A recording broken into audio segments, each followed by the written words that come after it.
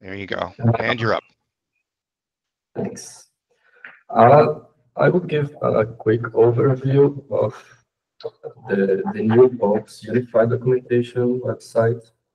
It's a project we did over the past uh, of the last year with a working group.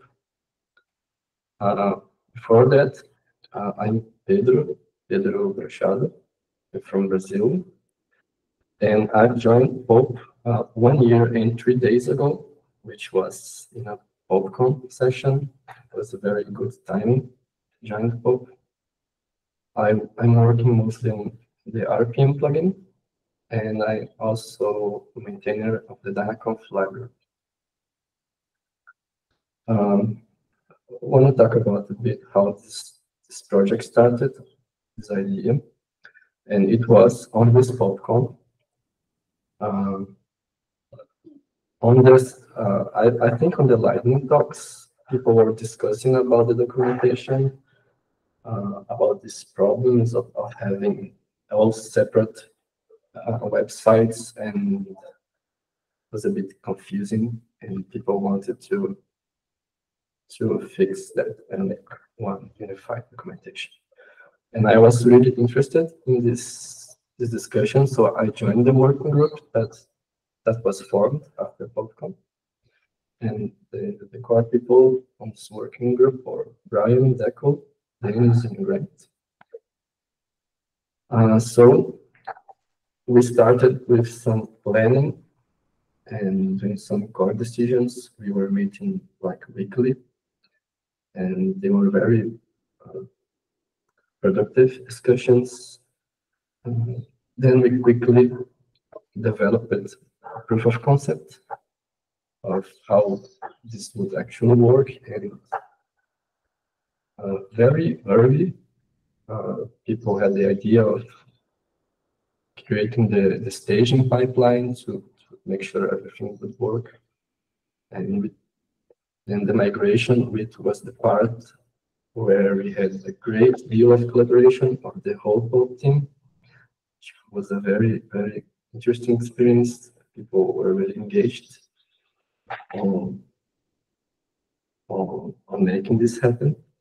And it, it worked well, but and then some final touches, which was like uh, putting some CI and redirects of the legacy stuff and changing domains, this kind of stuff. That's the, the overview of, of the, the, the whole process. And I just want to take the time to, to thank everyone involved, um, especially the working group uh, for me, it was a very good experience to, to get into Pulp and uh, get to collaborate on, on, a project like this. And of course, everyone that uh, helped this happen.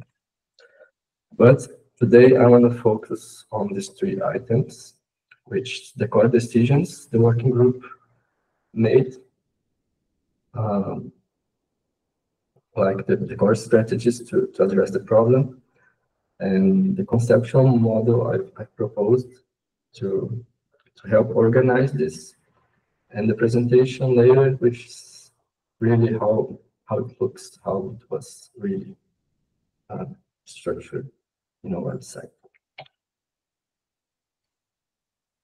So from the start, we wanted to make it really simple for us, for the team, and for the users. Uh, and that's because it was a really big change, like taking a lot of repositories, uh, changing the, the, the, language that was used in the documentation and aggregating all together. It was really complex stuff. Um, and if it, if it was not simple, it would probably have failed. So we kept that in mind. The goal was very straightforward. It was just to make one website with all the plugins documentation. So we tried to be disciplined about not making uh, other stuff like trying to improve the documentation of every page we were seeing. And I think we were able to do that. to some degree. And, and the technology, we chose to use Markdown. It was kind of general agreement. And we chose MKDocs because it was it, it is a very popular uh, library for documentation, the Python ecosystem. The versioning decision was a bit hard one because all the legacy plugins, almost all of them had uh, this versioning scheme, this version namespace where you could choose the release. But uh, reconcile this with our main goal would be really complex. And we choose to uh, make this trade-off and say that the versioning should be on the file, like with notes of the versioning. Some websites do that uh, in order to, to be able to, to finish the project in the timely manner. Uh, then we decided that each repository would host its its files, its documentation files, because it was more practical and if it was a monorepo, probably people wouldn't would forget to put stuff there. Uh, and about the migration, uh, one decision was to have this period where, where we would have the new doc documentation files and the legacy ones living together for some time. And then we would phase out the legacy ones. And I think that that worked well. So about the conceptual model, um, the, the aggregation itself was not very hard, but just aggregating stuff wouldn't make it very coherent uh, out of the box. So I was thinking about a strategy of making the documentation more coherent across all the whole ecosystem. So I thought some tool for creating a conceptual integrity uh, around some concepts to help uh, orient this phase of structuring one documentation website. And for the future, for the future, having such such well-established concepts can, can help to improve the quality of the content, which was not the goal of this first project. Uh, this is the, the kind of conceptual framework that I chose to use, the Diátaxis. And it's a systematic approach to technical documentation authoring. If you look at various documentations websites out there, you'll be able to recognize uh, concepts that are presented in, in this approach. Uh, it's really a website that talks about uh, this, this, this idea of how to, to approach documentation. And the, the basic idea is thinking about the user needs and understanding what, what are the, those needs um, first, the first thing is that the user wants to learn, uh, learn about the project, like uh, the basic skills to, to, to use the project and the basic concepts uh, in a project-based approach, like having some kind of end goal. And on this journey, uh, present the basic tooling, the basic concepts, the basic workflows. So through a project that the user learns, acquires the basic skills for, for to, to be able to work the project. That's the they call this a tutorial. Then uh, after the user has has the basic skills, it wants to apply those skills to whatever he has on uh, for the purpose he's using the project. So he wants to get stuff done on real life. So there is also this idea of an end goal, but the journey in this case should be really straightforward. There is nothing substantially new that user will, learn. He really needs to get this, this thing done. And this is what they call uh, guides or how-to guides. Then information-oriented phases after the user already has some basic skills and know how to do uh, stuff that he needs. Maybe he needs some specific information uh, or some some piece, some component, or some aspect. That's usually some settings or uh, some API options or some something like that. It's really something that you consult, you look on specific types. And the, the explanation oriented phase, um, it's it's not to make the user do something really. It's about helping the user to to see new perspective of something. So on explanations, uh, we might talk about uh, some components, some aspects of the project, why we did something a certain or talk about possible ways of doing stuff without getting too much detail. So after all the work is a way of uh, reflecting it's a, way about reflecting about the work, the project, and the possibilities.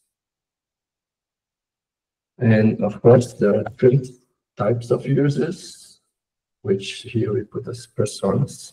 On the Pulp, we have established uh, the difference between user, admin, and developers, uh, where users more people that needs to manage content, use the API, while admins uh, usually have privileged access to the instance, so they will configure deployment, uh, do integrations, and all this kind of stuff. And developers and plugin writers, which has a whole different set of needs.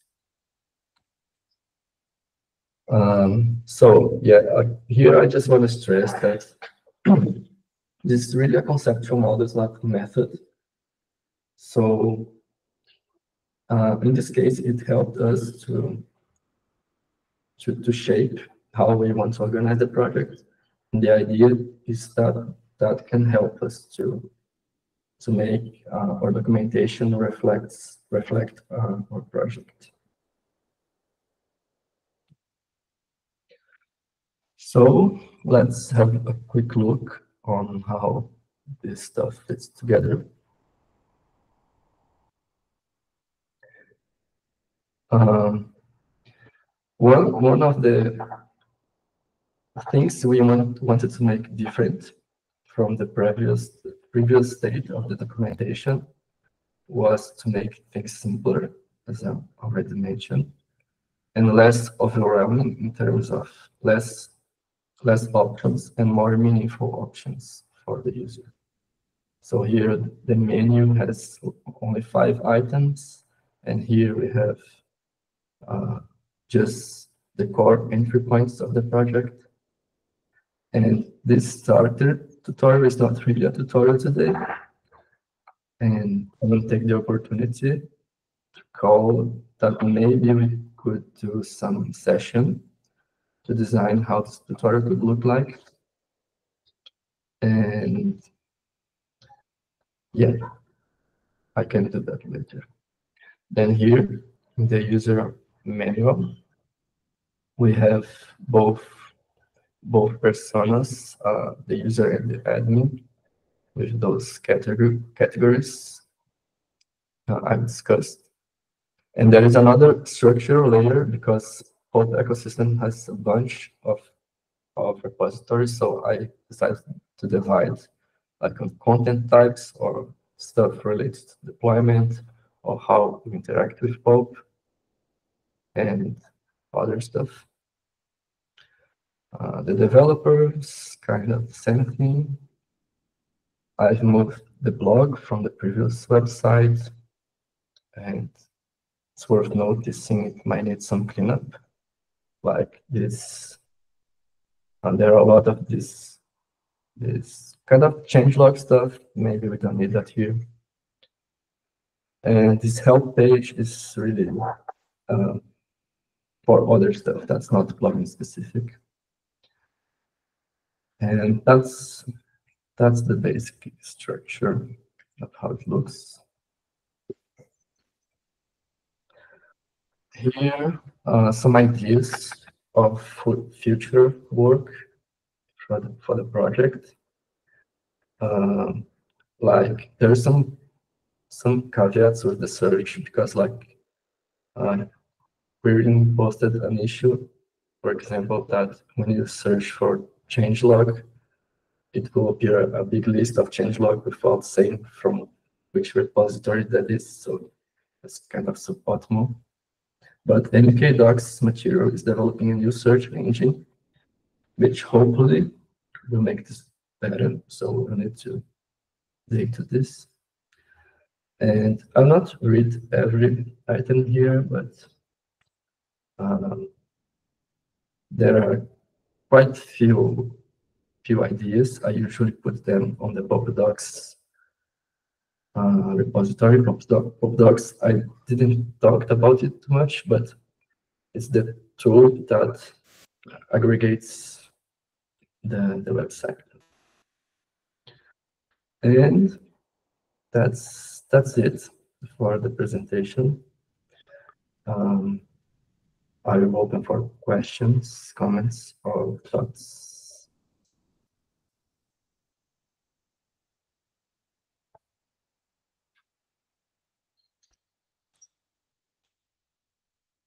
And folk, if you've got questions, you can either raise your hand or just chime in. what do you think is the most important improvement that needs to be done next? Mm, or what's on, yeah, what's at the top of your mind? I don't have one uh, very obvious item on the top of my mind. That's good. Mm-hmm. no, that's good. I, I, feel like, um, yeah, I, I personally have really enjoyed using the new site. I use it almost on a daily basis to look up documentation. And while the search can be a little bit suboptimal with the change logs, I've definitely experienced where I search for something and then I get a bunch of search log, uh, change log results. But that's more of an exception than a rule. Most of the time, when I go to search for something, I find specifically what I was looking for. And yeah, that's good to hear. Yeah. Grant? Yeah.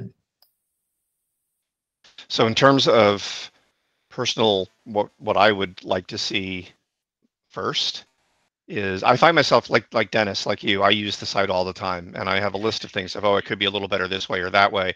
But those are all from the point of view of somebody who uses this site a lot and uses pulp a lot. What I'd like to see is an absolutely killer, okay, so you want to get pulp up and running and do something useful. Here's the exact set of instructions you need um, to get people up and running. That would be my first thing. yeah, the, the tutorial exactly start like tutorial. Yeah, that's something I really want to make to get done.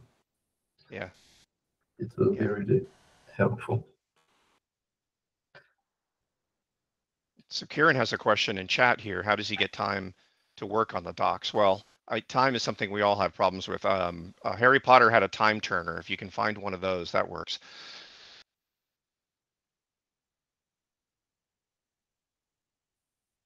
Becca. Yeah, I don't have a good answer for this. it's a common issue for all of us.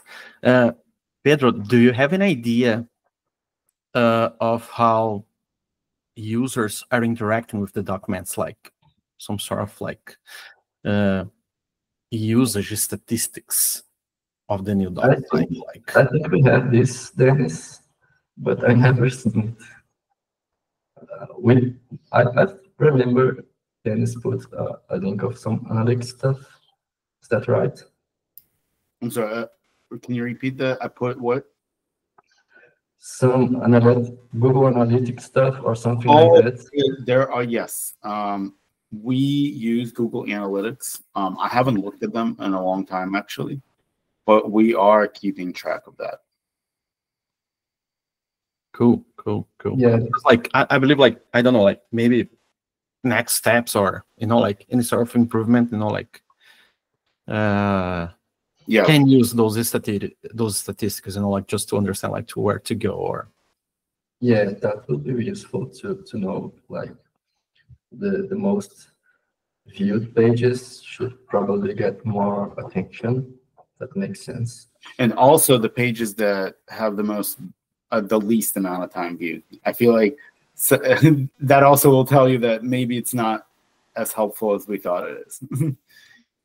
Yeah, Yeah. but anyway, that is a good next step though. Is sure. taking a look at those analytics now that we've had the site live for like six months or so i think right it- it's been in production now for about i feel like the data should be there to give us some insight into it Yeah, that's a great point. And man, like again, like thank you so much for that rework, you know, like that refactoring of the docs because like it changed a lot, you know, like for way better, way better. Thank you again. Cool. I think the two biggest things that I've seen from this is one, the fact Hey, my that I can name's go to Brian. one place and search. Oh, Brian, go ahead. Hey, what's up, everybody? Um, uh, I was just wanted to jump in there uh, and say that our previous site had like 300 to 400 users per day. How many? Uh, it had like 300 to 400 users per day. Um, which was like nine. previous? Yeah, our previous site, which has like nine and a half thousand users. I think that's right. I was just pulling out these analytics.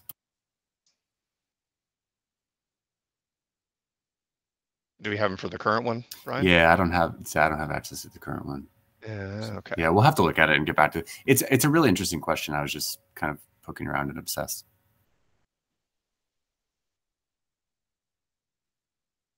i'll try to look it up real quick Yeah. Even if we can't get it in this session, then it's just bringing it to one of the Yeah, may- sessions or yeah. Maybe we can try to put it together and bring it back. Hey, I have an idea. We have space for lightning talks at the end. How about a five minute, you know, what we've discovered about doc analytics from one or both of y'all? Would that work? yeah that Ama- sounds good. amazing idea, man. Okay, so throw yourselves on the lightning talk list. I love that idea a lot. Other questions?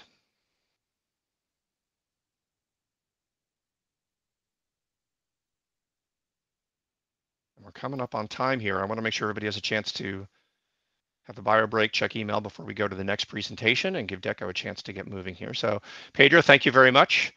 And in case folk weren't didn't really see this, Pedro joined the team at last PulpCon and took a comment from last PulpCon and said, "Well, crap, I can do that," and then basically made this happen. So we're we're all incredibly impressed and lucky to have him here. Thanks again, Pedro. This has been great. Thank you, Peter. Alright. Great. Yeah great job Bunch, Pedro. I'm going to stop recording.